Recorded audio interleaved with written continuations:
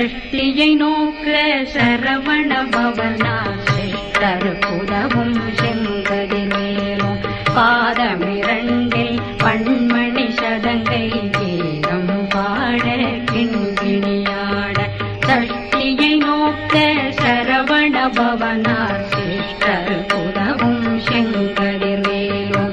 பாதமிரண்டில்